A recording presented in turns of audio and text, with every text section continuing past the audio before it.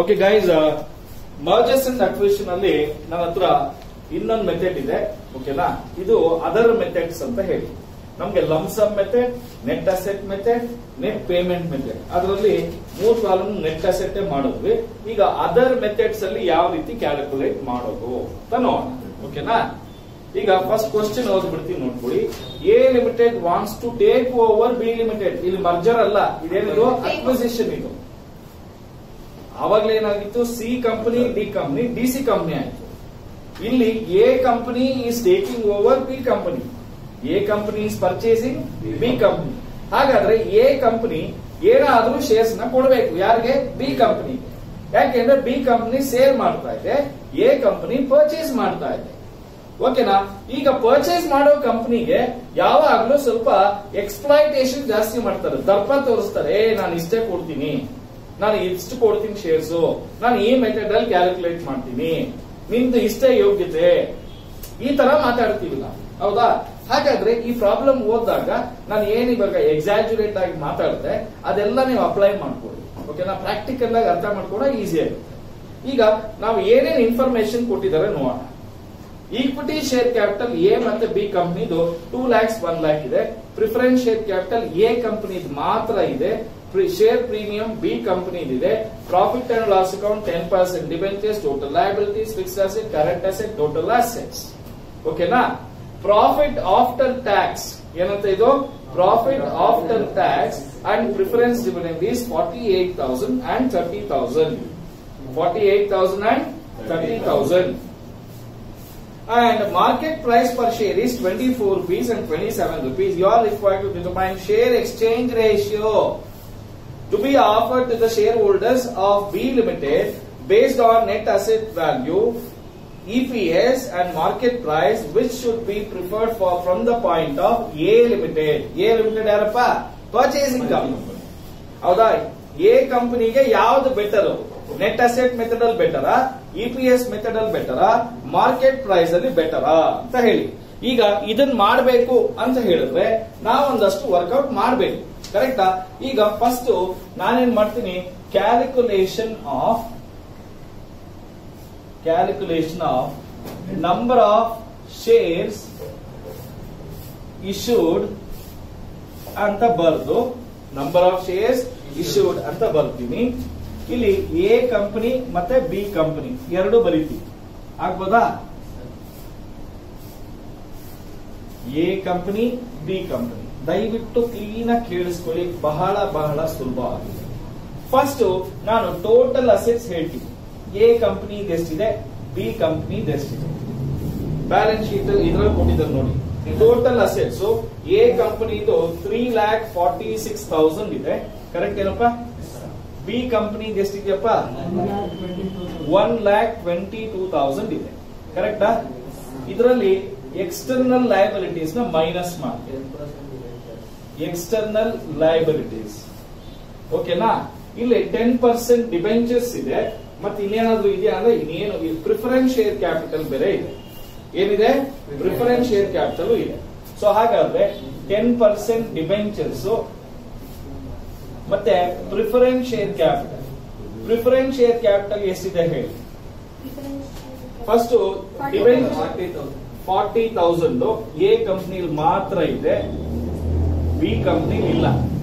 Debentures ಎರಡು ಕಂಪನಿನಲ್ಲೂ ಮೂವತ್ ಸಾವಿರ ಒಂದ್ ಕಂಪನಿ ಹತ್ತು ಸಾವಿರ ಒಂದ್ ಕಂಪನಿ ಕರೆಕ್ಟ್ ಏನಪ್ಪ? ಇದೆರಡು ಮೈನಸ್ ಮಾಡ. ಈಗ ದಯವಿಟ್ಟು ಹೇಳಿ ನೆಟ್ ಅಸೆಟ್ ಎಷ್ಟು ಬರುತ್ತೆ? Two lakh seventy six thousand very good ಇದು one lakh twelve thousand correct ಏನಪ್ಪ?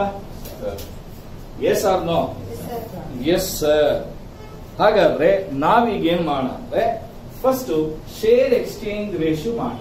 ಏನ್ ಮಾಡ ಶೇರ್ ಎಕ್ಸ್ಚೇಂಜ್ ರೇಷು ಓಕೆನಾ ಒಂದು ಫಾರ್ಮುಲಾ ಬರೀತೀನಿ. ಖಂಡಿತ ನಿಮ್ಗೆಲ್ಲ ಸಖತ್ತಾಗಿ ಇಷ್ಟ ಆಗುತ್ತೆ ಅದು. ನೋಡಿ ನೆಟ್ ಅಸೆಟ್ ಆಫ್ ಯಾರು? ಬಿ ಕಂಪನಿ ಬಿ ಕಂಪನಿ ಯಾರು? ಸೆಲ್ಲಿಂಗ್ ಕಂಪನಿ ಯಾವಾಗ್ಲೂ net asset of selling company ಅಥವಾ ಟಾರ್ಗೆಟ್ ಕಂಪನಿ ಅಂತ ನಾವು ಹೇಳ್ತೀವಿ. ನಿಮ್ಗೆ ಅರ್ಥ ಆಗೋ ತರ ಬರ್ಬೋದು. ಟಾರ್ಗೆಟ್ ಕಂಪನಿ ಅಂದ್ರೆ ಅರ್ಥ ಆಗಲ್ಲ. ಯಾರು ಸೇಲ್ ಮಾಡ್ತಾ ಇರೋದು? ಬಿ ಕಂಪ್ನಿ ಯಾರು ಪರ್ಚೇಸ್ ಮಾಡ್ತಾ ಇರೋದು? ಎ ಕಂಪ್ನಿ ಹಾಗಾದ್ರೆ net asset of B per sale company divided by net asset of A company that is purchasing company ಓಕೆನಾ ಆಗ್ಬೋದೇನ್ರಿ? ಆಗೋದಾ ಇಲ್ವಾ? ಆಗಬಹುದು. ಹಾಗಾದ್ರೆ one lakh twelve thousand divided by two lakh seventy six thousand zero point four zero five ಇಲ್ಲಪ್ಪ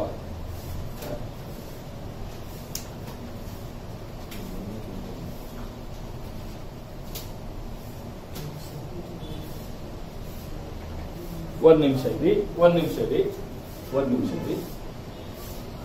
ಒಂದ್ share price ಎಷ್ಟಂತಪ್ಪ ಹೇಳ್ತಾ ಇದ್ರೆ, ಹತ್ತು ರೂಪಾಯಿ ತಾನೇ ಹೇಳ್ತಾ ಇದ್ರೆ? ಕರೆಕ್ಟಾ ಎಸ್ ಆರ್ ನೋ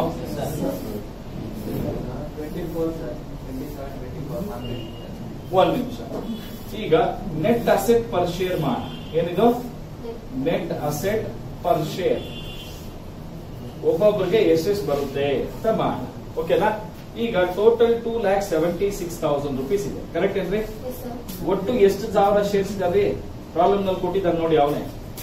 ಹದಿನೈದು ಸಾವಿರ ಶೇರ್ಸ್ ಇದೆ ಅಂತ ಹೇಳ್ತಾರೆ sorry two lakh rupees divided by ten ಎಷ್ಟಪ್ಪ ಬರುತ್ತೆ? ಟ್ವೆಂಟಿ ತೌಸಂಡ್ ಶೇರ್ಸ್ ಬರುತ್ತೆ. ಅಲ್ಲ ರೀ two lakh rupees two lakh number of shares ಮಾಡ್ರಿ. ಟ್ವೆಂಟಿ ತೌಸಂಡ್ ಶೇರ್ಸ್ ಬರುತ್ತೆ. ಇನ್ನೊಂದ್ಸರಿ ಹೇಳ ಹೋಗ್ಲಿ. ಇನ್ನೊಂದ್ಸರಿ ಹೇಳ್ತೀನಿ. ಒಂದ್ ನಿಮಿಷ ಇರಿ.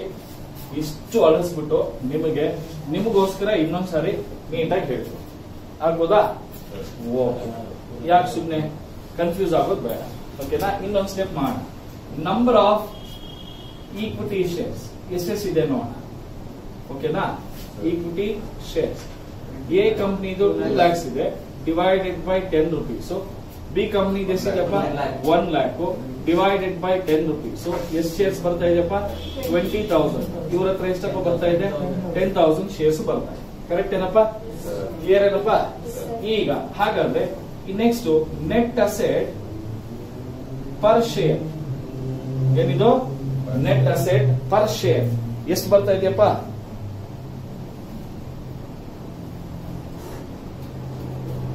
ಎಷ್ಟು ಬರ್ತಾ ಇದೆಯೋ?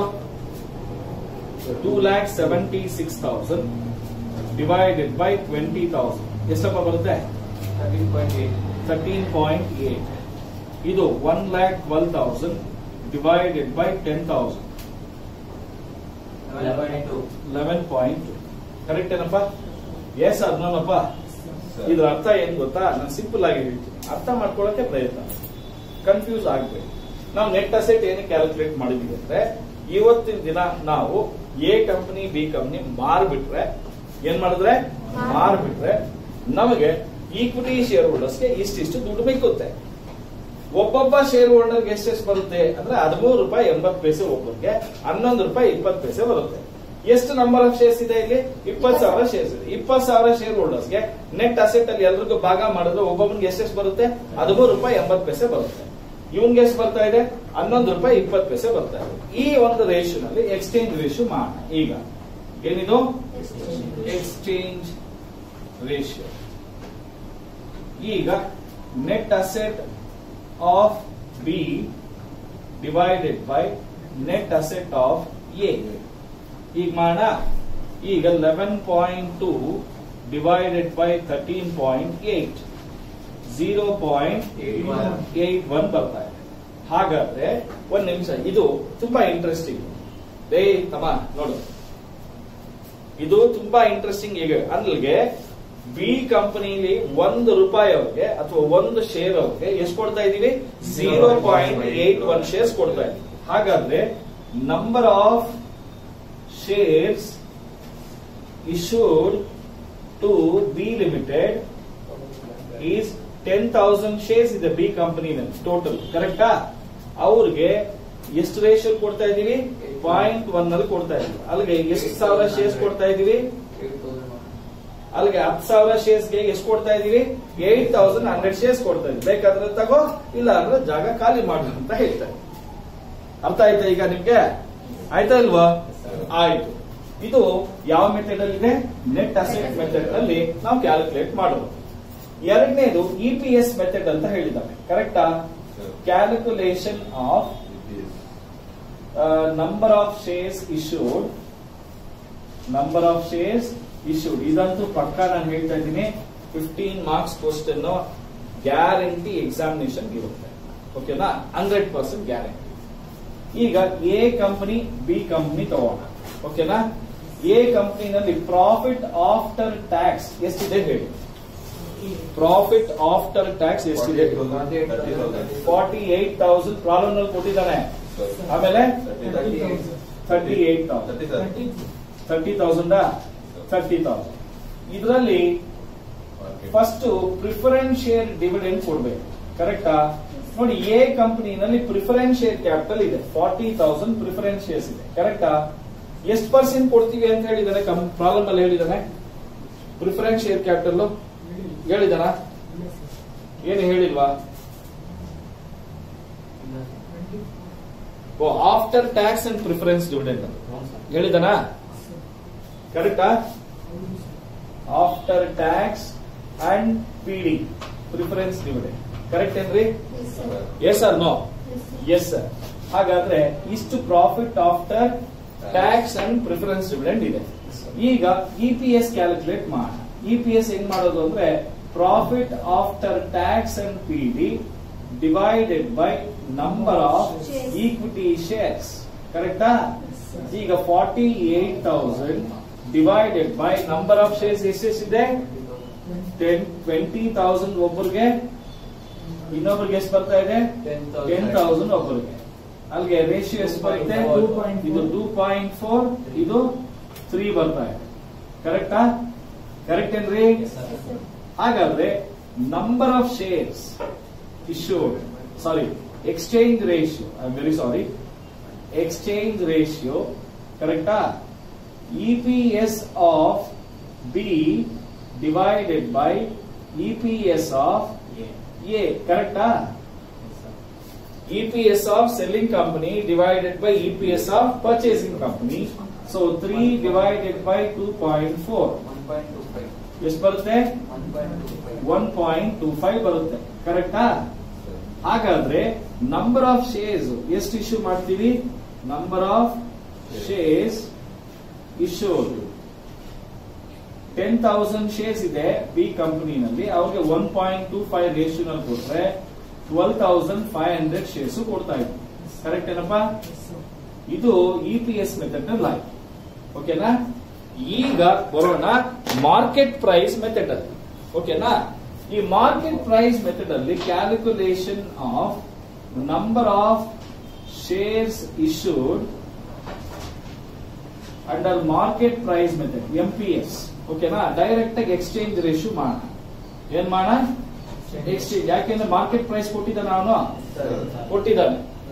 M P S of B company divided by M P S of A company ಎಷ್ಟು ಕೊಟ್ಟಿದ್ದಾನಪ್ಪ ಎಂ ಪಿ ಎಸ್ ಬಿ ಕಂಪನಿದು ಟ್ವೆಂಟಿ ಸೆವೆನ್ ಏದ್ ಎಷ್ಟು ಕೊಟ್ಟಿದ್ದಾನೆ twenty four exchange ratio one point one two five ಈಗ ನಂಬರ್ ಆಫ್ ಶೇರ್ಸ್ ಇಶ್ಯೂಡ್